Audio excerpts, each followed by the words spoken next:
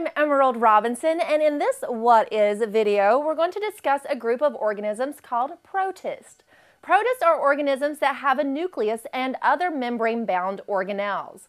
Most are one-celled, and they are classified as plant, animal, or fungus-like, meaning they have things in common with these organisms, but they're not quite the same thing. This is because they're relatively simple and don't have tissues and organs. If you think this definition sounds a little confusing, that's with good reason. Biologists use the protist group as sort of a garbage can. If a form of life doesn't meet the criteria for being a plant, animal, or fungus, and it has a nucleus, it's classified as a protist. Still, there's a few characteristics that most protists share. Because protists have a defined nucleus, they belong to the domain Eukarya and are called eukaryotes. Protists were probably the first eukaryotes according to what's called endosymbiotic theory. The first protists formed when cells that did not have a nucleus engulfed smaller cells. Over many years, these smaller cells evolved into the larger cell's nucleus and other organelles.